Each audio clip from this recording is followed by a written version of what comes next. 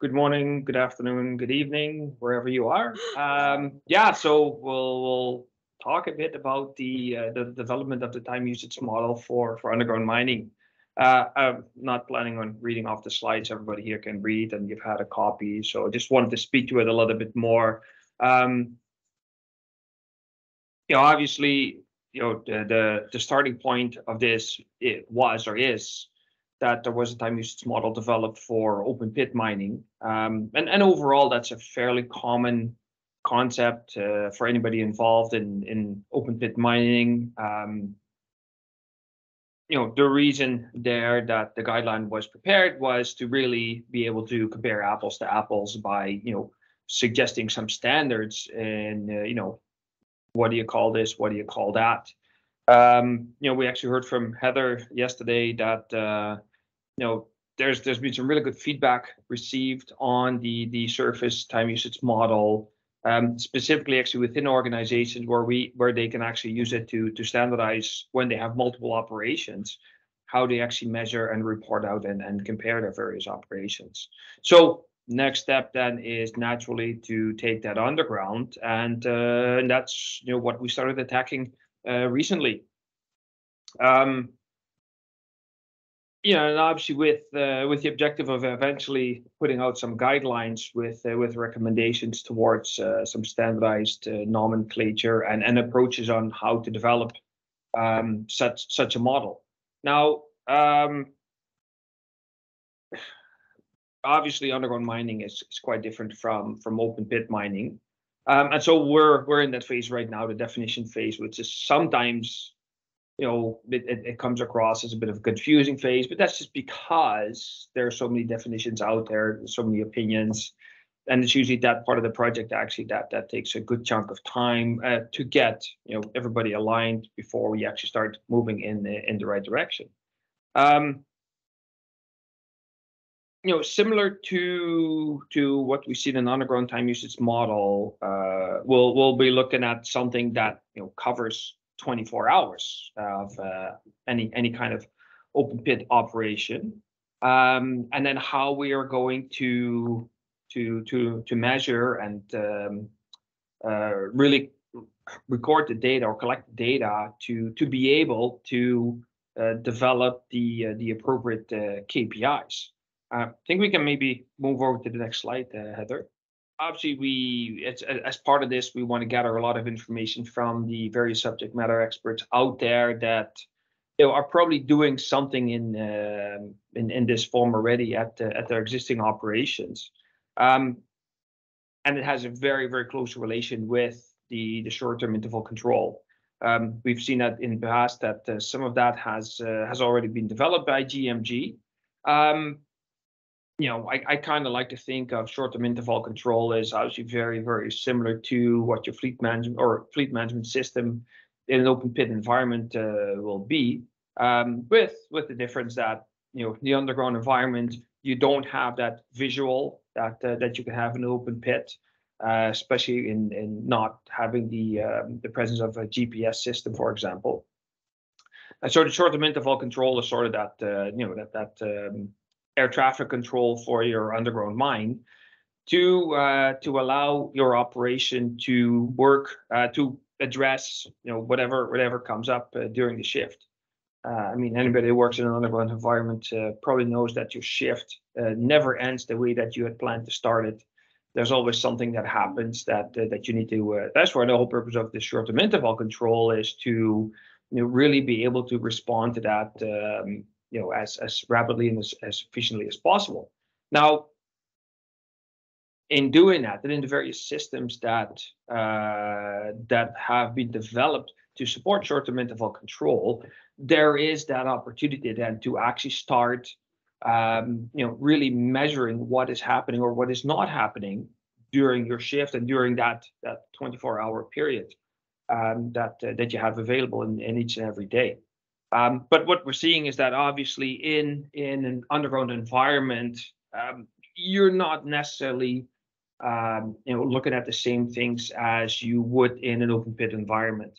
Um, open pit is very much about material movement, which requires machines, and so machines move. And you want those machines to be moving as much as possible, um, waiting or idling as as little as possible. So, and that's you know typically what your fleet management system uh, tries to do. Uh, in an underground mine, it's not not quite the same because, first of all, underground mining is much more selective than open pit is, right? So you know there's there's a little bit more um, uh, sort of picking and choosing on what material that you actually have to break and uh, and and remove, and there's a lot of activities around that to either prepare for that, support that, or or you know finish up um, afterwards. Um, that is that is in very very general terms, obviously what underground mining is. Um, and then what you may notice as you listen to me talk is that I've kind of been raised in the long hole mining environment. Um, so sort of naturally a lot of my uh, my thinking and talking goes towards that. But what we've already identified is that you know there's there's other mining methods underground as well. Um, you know, block cave. We had some really good discussions about that last week. On you know, a, block cave uh, operation is still quite different than a um, than a long hole stoping, uh, and then there's cut and fill, and you know, and can't forget about long uh, long uh, long wall uh, coal mining, for example. So lots lots out there. So we need to take that into consideration already, right? So that we're not honing in too much on one specific mining method, um, and and and thereby actually um, sort of ignoring some of the other mining methods that uh, that exist throughout the world as well. Um, so that's uh, that's really a, a, quite a big one. And then uh, one of the other parts as well that we, we already spoken about a lot is that in an underground environment, um, it's not necessarily just about keeping all the equipment moving um, as much as possible uh, because it's such a selective process because the activities that are happening with that equipment are typically of a much shorter duration than you will see in an underground environment. Um, so taking an, an open pit uh, time usage model directly underground um, may may make it appear as if an underground mine is highly inefficient because that equipment isn't moving all the time. Um, but that's exactly why you know we need to do some adaptations to the uh, the time usage model and really think about, for example, you know, you obviously need some personnel on that equipment as well to be able to to move it around. But more importantly, you need that work site to be available as well. Um, so that that stope, uh, I'll I'll call it stope. You know, it may be a heading, it may be a draw point, it may be a, a, a, another type of face. Um, really, those are the main resources that uh, that constitute uh, an underground mining process: a piece of equipment, uh, an operator on that equipment, and then uh, a site to put that equipment to work. So, um, you know, th this is obviously what uh, what the mine planning engineers try to deal with uh, a lot, but there's that other level of complexity that you know the the footprint or the, the real estate in an underground mine is uh, is pretty small. Just focusing in, for example, on the main mining activities of you know drill, blast, muck, fill, um, seems relatively straightforward, and it you know one comes after the other. But there's a lot of other processes around uh, in in the mine as well um, that may actually cause some conflict, but they still need to be done. Whether it's you know installing fans, uh, doing some diamond drilling, uh, rehab, cable bolting, um, you name it.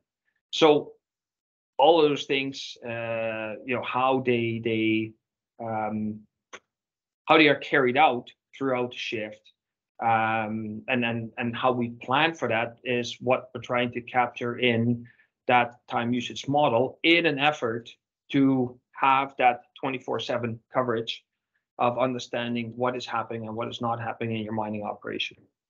Um, there's obviously a link as well to and I'll say the processing facilities right now, which is you know sort of the client specifically, if you're not dealing with a um, uh, with you know a stockpiling situation or or a coarse ore bin, for example. Um, but but in addition as well, actually in an underground environment, there is typically a lot more fixed equipment that is part of the process as well, whether it's a shaft, a conveyor, um, you know, it could even be a train that is either running underground or on surface to bring ore from uh, from A to B.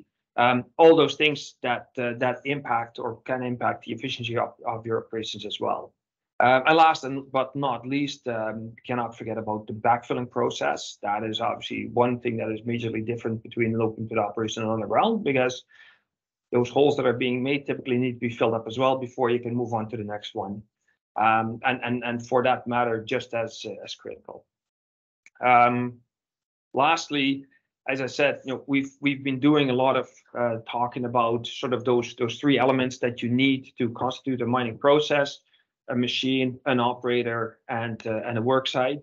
Now, obviously, with with technology advancing, uh, we're seeing you know autonomous equipment becoming available as well, which you know kind of actually takes that operator out of the picture or partially out of the picture. Uh, but it adds another element to it, which is, and I'll I'll generalize it as the technology, the technology that still needs to be available and uh, and, and, functional for that autonomous equipment or remote equipment to uh, to work.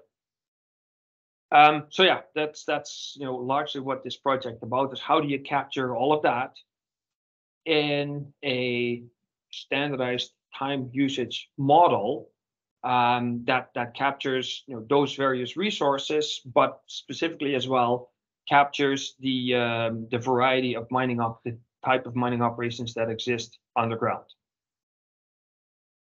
Um, so then, for, in terms of uh, obviously people getting involved, as I said, you know, when when you only get a few people that do a lot of talking, um, you know, you end up potentially uh, skewing the results of something like this. So really, the more people we can get involved that come from a, with a a variety of, of backgrounds when it comes to uh, underground mining operations, the, the better that we can do this.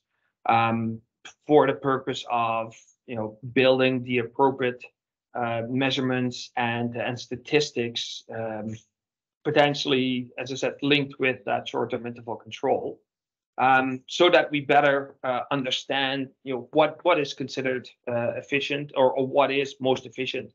Um, you know, if you put if you put Canadians versus uh, Australians, there is always the debate about you put a rock, uh, do you put a bolter in there, or just do everything with uh, with your jumbo bolter? That uh, that debate still hasn't been settled. For example, um, I was going to say not about slip my mind now, but uh, there's there's a number of ones out there. Right, sorry, the one that we talked about a lot as well. So when you're in a long hole operation, for example, when you're doing that long hole drilling, when that drill is done or it's done that first part, do you now pull it out and walk it all the way to another part of the mine to start drilling again? Or do you pull it out and park it off to the side so you can do that blast and put it back to work, right? People are always so hesitant to park it because it, it, it comes across as inefficient. But it, is it truly, right? Or is that moving it to another site, putting it to work, and now actually not having it available for that initial stope uh, actually potentially less efficient? Um, you know, obviously, then with this, you know, we we we hope to be able to establish a, a better understanding of the uh, the needs for uh, for underground equipment, what type of equipment, and and you know the size of the fleet that uh, that is required. Um, and obviously help as well in, in the schedule management. As I said, just just scheduling for drill, blast, muck, fill um, is, is simply too too simplified. Um, and and you know anybody that tries to do that know that you you will never make uh, very good friends with your mine superintendent because there's just too much else going on um, and which as i said right now is, is largely being managed through that short-term interval control um, and obviously then you know our oems that uh, that we rely on heavily I mean, it's a relatively small group of uh, of people so but the, the, good thing about that is that you know we we can kind of focus our our efforts and, and discussions on that large group a small group of of OEMs so that uh, you know by uh, that we can collaborate on you know uh, working towards the next generation of of appropriate equipment.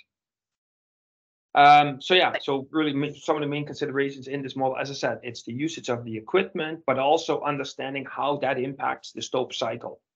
Um, because you know, that stope cannot move. You typically only have one or two axes to to get to that stope. Um, and so we're seeing that actually as a very important resource to, to be managed or tracked in that time usage model.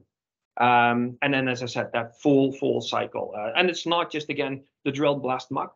It's also the cycle of activities that need to be done ahead of that stope actually starting that process of, uh, of drill blast muck.